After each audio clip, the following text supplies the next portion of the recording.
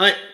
Well, hopefully this won't take long. I just uh, basically want to make a proper video uh, rather than just use the community tab uh, to mention the fact that uh, the live stream for January 27th, uh, live stream 61, will be postponed by one hour. Um, before, uh, when I just posted on the community tab to um, mention, I think I actually canceled a, a meeting.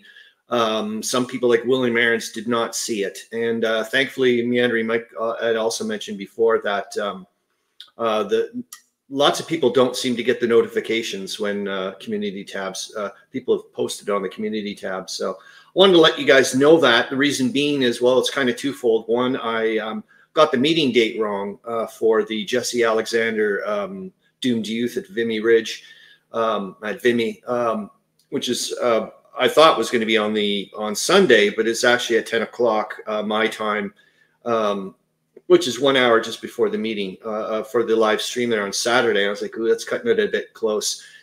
I was like, should I postpone it or not? And then uh, I just got an email a little while ago, and they were like, uh, and then I looked down at the date, and I'm like, wait a minute, you guys just postponed it by 30 minutes. I'm like, okay, this is getting this is getting out of hand. So I'll see how it goes. I've never tried. I usually try to be as calm or calm down before a live stream as uh, before I get into it. I, I, have a hard time trying to slow down as much as possible. So I, it's going to be interesting to see what happens if I start noticing my mind going a mile a minute during the um, uh, during the lecture before the, the live stream. I may, may just cancel that and just calm down before the lecture because of the live stream because that's way more important to me than uh, that. So that's it. I just wanted to let everybody know, and I hope hope uh, hope to uh, see you then at um, which I guess let's just do the official thing, which would be 1700 hours GMT. All right. Hope to see you there. Hope you're having a good time. See ya.